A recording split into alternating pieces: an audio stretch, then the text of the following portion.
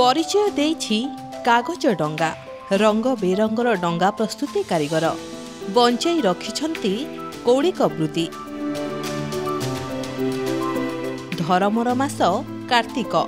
ମାସ ସାରା ଘରେ ଘରେ ପାଳନ ହୁଏ ବ୍ରତ।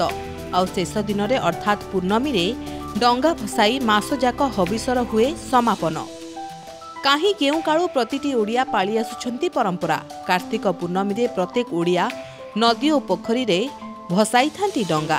ଆଉ ପ୍ରତିବର୍ଷ ମାସେ ଆଗରୁ ଲାଗିଯାଏ ଡଙ୍ଗାର ପସରା।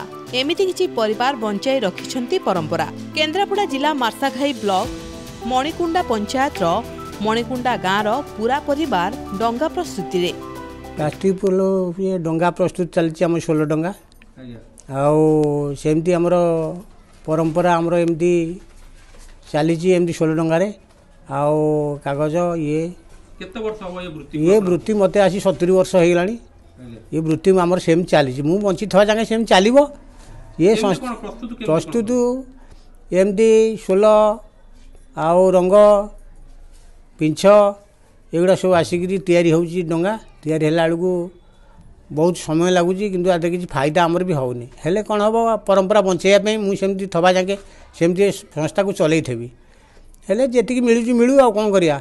ସଂସ୍ଥା ତ ଅଛି ଏ କର୍ପ ସୋଲ ବାହାରି ପରିବେଶ ଦୂଷିତ ହେଇ ସବୁ ନଷ୍ଟ କଲାଣି ସବୁ। ଆମେ ଆଉ କ'ଣ କରିବା? ଆମେ ସେମିତି ସଂସ୍ଥା ଚଲେଇଛୁ।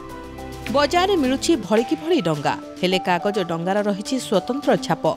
ମାଳି ସମ୍ପ୍ରଦାୟର ଲୋକେ ପ୍ରତିବର୍ଷ କରିଥାନ୍ତି ପ୍ରସ୍ତୁତି। ମାସେ ପୂର୍ବରୁ ସୋଲ ସଂଗ୍ରହ କରି ସେସବୁ କାଟି ସେଥିରେ ବିଭିନ୍ନ ପ୍ରକାରର ରଙ୍ଗ ଦିଆଯାଏ। ପରେ ଆହୁରି ସୁନ୍ଦର ଓ ଆକର୍ଷଣୀୟ କରିବା ପାଇଁ ସେଥିରେ ରଙ୍ଗୀନ କାଗଜ ସହ ଲଗାଯାଇଥାଏ ଝାଲେରି। ପ୍ଲାଷ୍ଟିକ ଓ କର୍କ ସୋଲରେ ତିଆରି ଡଙ୍ଗା ବଜାରରେ ଶସ୍ତାରେ ମିଳୁଛି।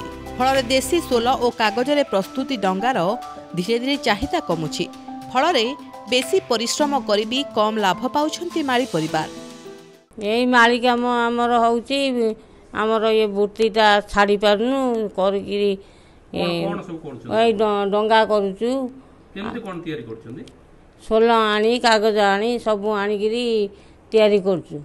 କେବେଠୁ ତିଆରି କଲେ ମାସେ ହେଲାଣି କରୁଛୁ। ପଇସା ଲାଭ ହଉଛି? ଲାଭ ବାବା ହେଉନି। ଲାଭ ହେଉନି ଆମର ଗୋଟେ ବୃତ୍ତି ଆମେ ସେ କରୁଛୁ ଆଉ।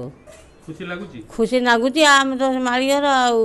କାହିଁ ଖୁସି ଲାଗୁଛି ଆଉ ଖୁସି ଲାଗିବନି ଆମର ବୃତ୍ତିଟା ଆମେ ଛାଡ଼ିପାରିବୁ କେବଳ କୌଳିକ ବୃତ୍ତିରେ ବଞ୍ଚି ରହିଛି ସଂସ୍କୃତି ଓ ପରମ୍ପରା। ପରମ୍ପରା କେବଳ ଗ୍ରାମାଞ୍ଚଳ ନୁହେଁ ବରଂ ସହରରେ ବି ଏହାର ଚାହିଦା ରହିଛି। ହୁଏତ ସହରରେ ବିଭିନ୍ନ କିସମର ଡଙ୍ଗା ମିଳୁଛି କିନ୍ତୁ ଗ୍ରାମାଞ୍ଚଳରେ ରହିଛି କାଗଜ ଡଙ୍ଗାର ଚାହିଦା। ପରିଶ୍ରମ ଅନୁସାରେ ସେହି ପରିମାଣର ପାଉଣା ମିଳୁନଥିବାରୁ ଆସ୍ତେ ଆସ୍ତେ ଏହି ପରମ୍ପରା ବୁଡ଼ିବାକୁ ବସିଲାଣି। ତଥାପି କିଛି ପରିବାର କାମ ନ ଛାଡ଼ି ବଞ୍ଚାଇ ରଖିଛନ୍ତି କୌଳିକ ବୃତ୍ତି। ଡଙ୍ଗି ଭସା ହେଉଛି ନୌ ବାଣିଜ୍ୟକୁ ଯେଉଁ ସ୍ମୃତି ଅଛି ତାକୁ ଉଜ୍ଜୀବିତ କରି ରଖିଛି ଆଜି ପର୍ଯ୍ୟନ୍ତ। ଏଇଟା ହେଉଛି ଆମ ଉତ୍କଳ ପ୍ରଦେଶର ଗୋଟେ ପୌରାଣିକ ଯୁଗରୁ ରହିଆସିଛି ତାକୁ ନେଇକରି ସାରା ଓଡ଼ିଶା ଚଳଚଞ୍ଚଳ ହୁଏ ଏ କାର୍ତ୍ତିକ ପୂର୍ଣ୍ଣିମା ଦିନ। କାର୍ତ୍ତିକ ପୂର୍ଣ୍ଣିମାରେ ଆମ ଓଡ଼ିଶାର ସବୁ ନଈ ପୋଖରୀ ସବୁଠି ଡଙ୍ଗି ଭସା କରାଯାଏ। କିନ୍ତୁ ଆଜି ଯେଉଁ ମଡ଼ର୍ଣ୍ଣ ଯୁଗରେ ଯେତେବେଳେ କର୍କ ସୋଲର ବ୍ୟବହାର କରାଯାଉଛି ତାହା ଜଳବାୟୁକୁ ପ୍ରଦୂଷଣ କରୁଛି।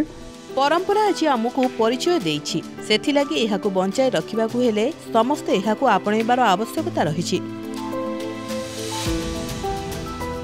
ମାର୍ଶାଘାଇରୁ ପ୍ଲାବନ ସ୍ୱାଇଁଙ୍କ report Prameya news seven digital